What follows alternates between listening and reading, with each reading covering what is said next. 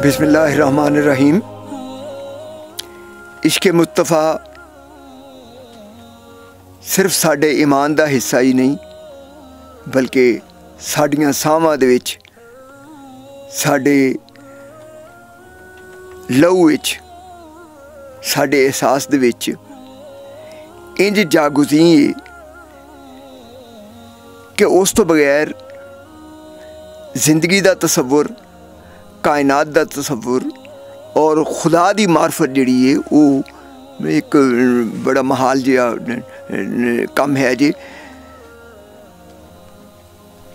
ਆਕਾਏ ਦੋ ਜਹਾਂ ਦੇ ਜਿਹੜੇ ਇਸ ਕਾਇਨਾਤ ਉਤੇ ਇਹਸਾਨਾਤ ਨੇ, ਉਹਨਾਂ ਦਾ ਤਾਂ ਸ਼ੁਮਾਰੀ ਮੁਮਕਿਨ ਨਹੀਂ ਹੈ ਉਹਨਾਂ ਨੇ ਆਪਣੀ ਸੀਰਤ ਦੇ ਜ਼ਰੀਏ, ਆਪਣੇ ਕਿਰਦਾਰ ਦੇ ਜ਼ਰੀਏ, ਆਪਣੀ ਮਿਸਾਲ ਦੇ ਜ਼ਰੀਏ, ਜਿਹੜੀਆਂ ਮਿਸਾਲਾਂ ਕਾਇਮ ਕੀਤੀਆਂ ਨੇ ਔਰ ਜਿਹੜੇ ਉਹਨਾਂ ਨੇ ਨਮੂਨੇ ਪੇਸ਼ ਕੀਤੇ ਨੇ, ਉਹ ਪੂਰੀ ਇਨਸਾਨੀਅਤ ਦਾ ਵਿਰਸਾ ਨੇ, ਉਹ ਸਿਰਫ ਉਹਦੇ ਤੇ ਮੁਸਲਮਾਨਾਂ ਦਾ ਅਜਾਰਾ ਨਹੀਂ ਹੈ। ਔਰ ਸੱਚੀ ਗੱਲ ਤੇ ਇਹ ਹੈ ਕਿ ਗੁਨਾਹਗਾਰ ਤੋਂ ਗੁਨਾਹਗਾਰ ਮੁਸਲਮਾਨ, ਬੇਅਮਲ ਤੋਂ ਬੇਅਮਲ ਮੁਸਲਮਾਨ ਵੀ ਆਕਾ ਦੇ ਜ਼ਿਕਰ ਉਤੇ ਤੜਪ ਜਾਂਦਾ ਹੈ। ਆਕਾ ਦੀ ਸ਼ਾਨ ਦੇ ਵਿੱਚ ਕੋਈ ਮਲੂਨ ਗੁਸਤਾਖੀ ਕਰਨ ਦੀ ਕੋਸ਼ਿਸ਼ ਕਰੇ ਤੇ ਉਹ ਆਪਣਾ ਜਾਨੋ ਮਾਲ ਫਿਦਾ ਕਰਨ ਲਈ ਤਿਆਰ ਹੋ ਜਾਂਦਾ ਹੈ। ਔਰ ਇਸ਼ਕ ਮੁਸਤਫਾ ਏਡੀ ਵੱਡੀ ਨੇਮਤ ਔਰ ਏਡੀ ਵੱਡੀ ਦੌਲਤ ਹੈ ਜਿਹਨੂੰ ਹਰ ਮੁਸਲਮਾਨ ਜਿਹੜਾ ਹੈ, ਉਹ ਆਪਣੀ ਦੁਨੀਆ ਦੀ ਔਰ ਆਪਣੀ ਆਖਰਤ ਦੀ ਪੂੰਜੀ ਸਮਝਦਾ ਹੈ। ਇਹ ਸਾਡਾ ਫਖਰ ਹੈ ਕਿ ਅਸੀਂ ਉਹਨਾਂ ਦੇ ਉਮਤੀ ਹਾਂ ਔਰ ਇਹ ਏਡਾ ਵੱਡਾ ਤਮਗਾ ਹੈ ਜਿਹਦਾ ਬਦਲ ਦੁਨੀਆ ਦੀ ਵੱਡੀ ਤੋਂ ਵੱਡੀ ਦੌਲਤ, ਦੁਨੀਆ ਤੋਂ ਵੱਡਾ ਤੋਂ ਵੱਡਾ ਇਜ਼ਾਦ ਨਹੀਂ ਜਿਹੜਾ ਨਹੀਂ ਹੋ ਸਕਦਾ। ਲੇਕਿਨ ਇੱਕ ਚੀਜ਼ ਹੈ ਕਿ ਅਸੀਂ ਬੜੇ ਜੋਸ਼ੋ ਖਰੋਸ਼ ਦੇ ਨਾਲ ਈਦ ਮਿਲਾਦੁਲ ਨਬੀ ਵੀ ਮਨਾਉਂਦੇ ਆ।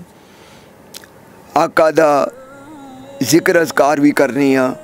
ਹਸਬ ਤੌਫੀਕ ਨਜ਼ਰ ਨਿਆਜ਼ ਵੀ ਦਿੰਨੇ ਆ। ਲੇਕਿਨ ਇਸ਼ਕ ਮੁਸਤਫਾ ਦਾ ਹਕੀਕੀ ਤਕਾਜ਼ਾ ਸਿਰਫ ਉਹਨਾਂ ਦੀ ਮੁਹੱਬਤ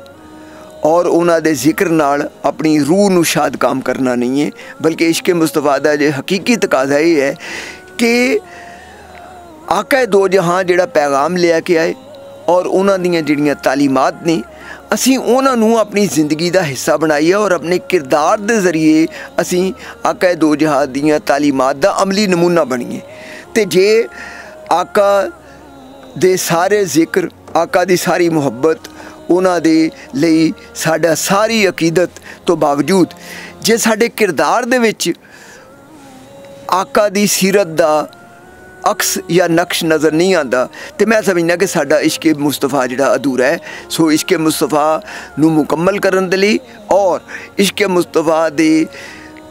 ਦੀ ਤਕੜੀ ਉੱਤੇ ਪੂਰਾ ਤੁਲਨ ਦੇ ਲਈ ਇਹ ਜ਼ਰੂਰੀ ਹੈ ਕਿ ਅਸੀਂ ਆਪਣੇ ਕਿਰਦਾਰ ਦੇ ਵਿੱਚ ਉਹ ਤਬਦੀਲੀ ਲਿਆਈਏ ਜਿੱਥੇ ਸਾਡਾ ਮੁਹੰਮਦੀ ਹੋਣਾ ਔਰ ਜਿੱਥੇ ਸਾਡਾ ਮੁਸਲਮਾਨ ਹੋਣਾ ਜਿਹੜਾ ਹੈ ਉਹ ਇੱਕ ਦੁਨੀਆ ਦੇ ਲਈ ਰੋਲ ਮਾਡਲ ਬਣ ਜਾਏ ਔਰ ਜਿਹਦੇ ਤੋਂ ਜਿਹੜਾ ਸਾਨੂੰ ਵੇਖ ਕੇ ਦੁਨੀਆ ਇਹ ਕਵੇ ਕਿ ਮੁਹੰਮਦ ਦੇ ਉਮਤੀ ਇਦਾਂ ਦੇ ਨੇ ਤੇ ਮੁਹੰਮਦ ਦਾ ਪੈਗਾਮ ਜਿਹੜਾ ਹੈ ਔਰ ਮੁਹੱਬਤ ਦੀ ਜਿਹੜੀ ਸੀਰਤ ਹੈ ਉਹ ਜਿਹੜੀ ਮਤਲਬ ਹੈ ਉਹ ਕਿੰਨੀ ਕੁ ਹਮਾਗੀਰ ਹੋਏਗੀ। ਸੋ ਮੈਂ ਸਮਝਣਾ ਕਿ ਇਸ਼ਕ ਮੁਸਤਫਾ ਦੀ ਇੱਕ ਇੰਤਹਾਈ ਜਿਹੜੀ ਤਕਾਜ਼ਾ ਹੈ ਔਰ ਬੁਨਿਆਦੀ ਤਕਾਜ਼ਾ ਬਲਕਿ ਇਹ ਹੈ ਕਿ ਅਸੀਂ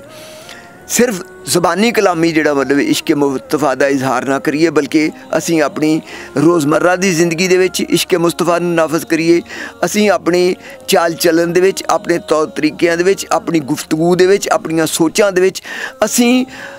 ਆਕਾ ਦੋ ਜਹਾਂ ਦੀ ਜਿਹੜੀ ਸਿਰਤ ਹੈ ਉਹਨੂੰ ਆਪਣੇ ਤੇ ਹਾਵੀ ਕਰ ਲਈਏ ਔਰ ਅਸੀਂ ਚਲਦੇ ਫਿਰਦੇ ਤਸਵੀਰ ਬਣ ਜਾਈਏ ਆਕਾ ਦੀ ਤਾਲੀਮਾਤ ਦੀ। ਵਰਨਾ ਸਿਰਫ